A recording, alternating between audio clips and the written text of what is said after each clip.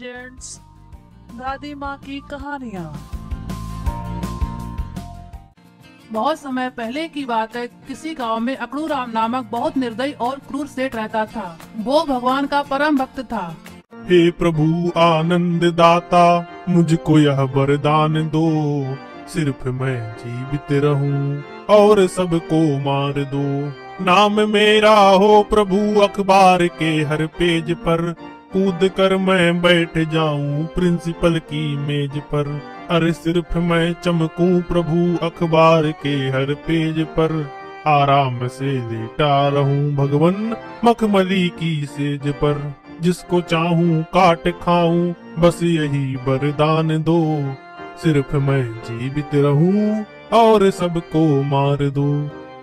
सेठ का धर्म कर्म में तो बहुत मन लगता, लेकिन उसकी एक बहुत ही खराब आदत थी। सेठ जब भी किसी को पैसे देता, अगर उसे पैसे वापस करने में जरा भी देरी हो जाए तो वह उसके शरीर का एक भाग निकाल लेता था।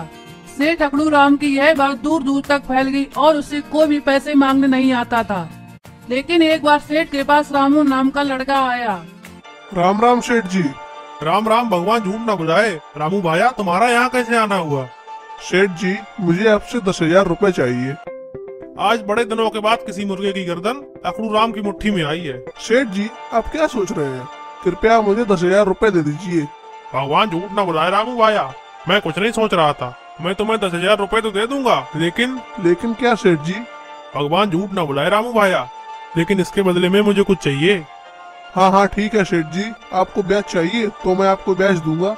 भगवान झूठ न बुलाए भाया ब्याज तुम्हें दूँगा ही लेकिन अगर तुम्हें पैसे वापस करने में एक घंटे की भी देरी हुई तो मैं तुम्हारे शरीर का एक किलो मांस ले लूँगा। सेठ जी ये आप क्या कह रहे हैं? अगर आपको चाहिए तो आप मुझसे दुगने रुपए ले लीजिए। लगता है रामू भाया तुमने मेरे बारे में गाँव वालों से नहीं सुना। आज तक मैंने जिस किसी को भी पैसे दिए हैं और उसने पैसे वापस करने में अगर एक घंटे की भी देरी कर दी तो मैंने उसके शरीर का एक अंग निकाल दिया। ध्यान से समझ लो रामू भाया। अगर तुमने पैसे वापस करने में एक घंटे की भी देरी कर दी तो मैं तुम्हारे शरीर का एक अंग ले लूँगा। अगर तुम्हें मेरी शर्त मंजूर है तो तुम उससे पैसे लो वरना तुम यहाँ से जा सकते हो। क्या करें? सेठ तो मान ही नहीं रहा लेकिन मुझे भी तो पैसों की ज़्यादा ज़रूरत है। भगवान झूठ ना बुलाए रामू भाया। क्या सोच रहे हो? नहीं नहीं कुछ नहीं सोच रहा था। आप मुझे दस हज़ार रूपए दे दीजिए अगर मुझे पैसे वापस करने में नेक भी देरी हुई तो आप मेरे शरीर का एक किलो मांस ले लेना। ठीक है ये लो दस हज़ार रूपए। और फिर रामू रुपए लेकर वहाँ से चला गया। रामू को रुपए वापस करने में एक दिन की देरी हो गई इसलिए वह सेठ के पास दुगने रुपए लेकर आया। रामू को देख कर अकड़ू राम कहता है भगवान झूठ न बुलाए रामू भाया। जितनी तुम्हारी उम्र है उससे ज़्यादा तो हमारी कमर है। मैंने तो तुमसे पहले ही कहा था कि तुम पैसे समय पर वापस नहीं कर पाओगे। माफ़ कीजिएगा सेठ जी मेरी बहुत कोशिशों के बाद भी आपको पैसे वापस करने में एक दिन की देरी हो गई इसलिए मैं आपके लिए दुगने रुपए लेकर आया हूँ। भगवान झूठ न बुलाए रामू भाया। अब मैं तुम्हारे ये रुपए नहीं लूँगा धन्यवाद सेठ जी। आप तो बहुत ही अच्छे व्यक्ति हैं। अच्छा तो अब मैं चलता हूँ। रामू भाया कहाँ चल दिए? कहाँ चल दिए मतलब? मैं तो अपने घर जा रहा था। मेरे कहने का मतलब ये नहीं था रामू भाया। तो फिर क्या मतलब था आपका? आपको रुपए नहीं चाहिए तो क्या चाहिए? भगवान झूठ ना बुलाए रामू भाया। लगता है तुम हमारी शर्त भूल गए हो। कैसी शर्त सेठ जी? शर्त ये थी कि अगर तुम्हें दस हज़ार रूपए वापस करने में एक घंटे की भी देरी हुई तो तुम मुझे अपने शरीर का एक किलो मांस दोगे। और रामू भाया तुमने तो वहाँ भी बोला था। अब तो तुम्हें एक दिन की देरी हो गई है। जी हाँ सेठ जी मैं मानता हूँ कि मुझे पैसे वापस करने में एक दिन की देरी हो गई। इसलिए मैं आपसे कह तो रहा हूँ कि मेरी बहुत कोशिशों के बाद भी मुझे पैसे वापस करने में एक दिन की देरी हो गई। इसलिए मैं आपके लिए दुगने रुपए लेकर आया हूँ। आप इन रुपयों को रख लीजिए और मुझे जाने दीजिए। भगवान झूठ ना बुलाए रामू भाया। तुम तो ऐसे कर रहे हो जैसे मैंने तुम्हें बंदी बना लिया हो। बस तुम अपनी शर्त के मुताबिक एक किलो मांस दे दो और यहाँ से जाओ। सेठ जी अगर आपको लगता है कि मुझे पैसे वापस करने में ज़्यादा देरी हो गई है तो आप मुझसे दुगने पैसे के साथ ब्याज भी ले सकते हैं। मुझे ब्याज नहीं चाहिए। सेठ जी आप मुझसे बीस हज़ार रूपए के भी दुगने ले लीजिए। मुझे दुगने पैसे नहीं मुझे तो केवल तुम्हारे शरीर का मांस चाहिए। इस प्रकार रामू और अकड़ू राम बहुत देर तक बहस करते रहे। गाँव के बहुत से लोग वहाँ पर इकट्ठे हो गए। गाँव वालों ने सेठ को बहुत समझाया, लेकिन सेठ अपनी जिद पर अडिग रहा।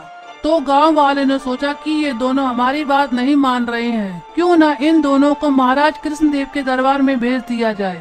अरे अकड़ू राम, अगर ये लड़का तुम्हारी बात नहीं मान रहा तो तुम इसको महाराज के दरबार में क्यों नहीं लेके जाते? तुम ठीक कह रहे हो, मैं इस लड़के को महाराज के पास लेके जाऊँगा। वैसे भी मुझे इस लड़के के माँ से मतलब है, पैसे से थोड़ी। हाँ हाँ चलो। मैं भी देखता हूँ कि महाराज तुमको मेरा मास्क कैसे देते हैं। मैं फिर भी कह रहा हूँ दुगने रुपए लेना हो तो ले लो। भगवान झूठ ना बुलाए रामू भाया। आज तक अकड़ू राम ने जो सोचा है वो किया है। और अकड़ू राम के किस्से तो दूर दूर तक फैले हुए हैं। महाराज भी मेरे पक्ष में ही फैसला सुनाएँगे। कहीं ऐसा ना हो कि महाराज इस अकड़ू राम को मेरा मांस देने का आदेश दे दे। इस प्रकार वो दोनों बातें करते करते महाराज कृष्णदेव के दरबार में चले गए।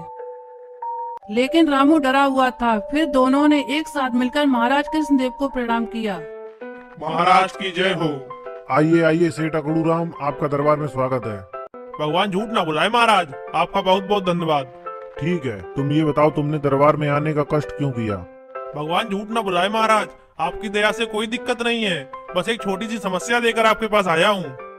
तुमको कौन सी समस्या आन पड़ी अकड़ू राम? तुम गाँव वालों के लिए वैसे भी तो एक समस्या ही हो। क्या कहा महाराज आपने? कुछ नहीं कुछ नहीं। तुम बताओ तो तुमको कौन सी समस्या पड़ी है? और ये तुम्हारे साथ में लड़का कौन है? भगवान झूठ ना बुलाए महाराज। समस्या तो ये लड़का ही है।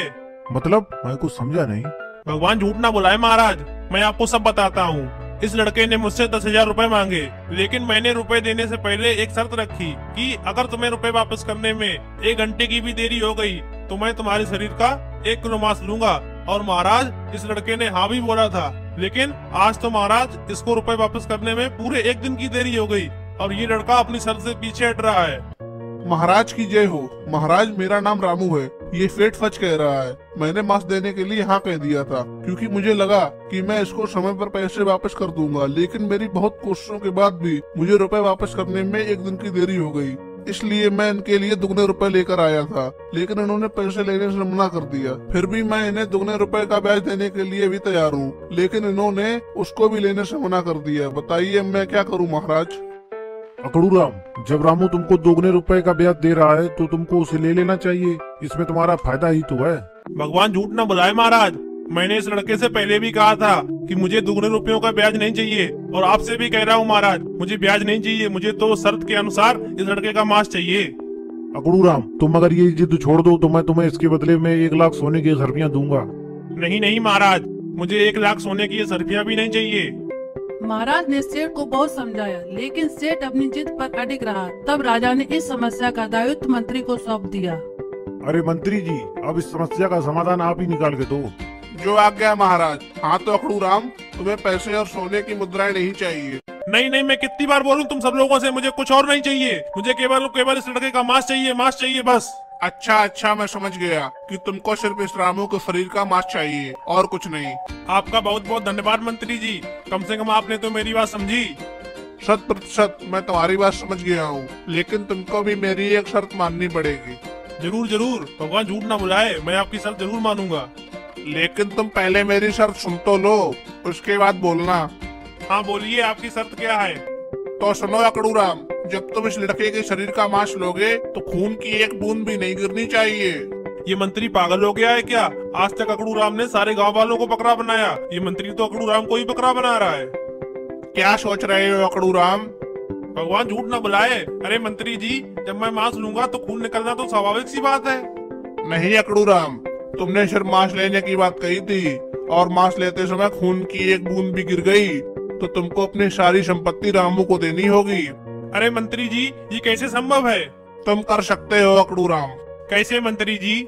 जब तुम इस लड़के के दिए हुए दुगने रुपए छोड़ सकते हो महाराज की दी हुई एक लाख सोने की मुद्राएँ छोड़ सकते हो तो मांस लेते समय खून क्यों नहीं छोड़ सकते?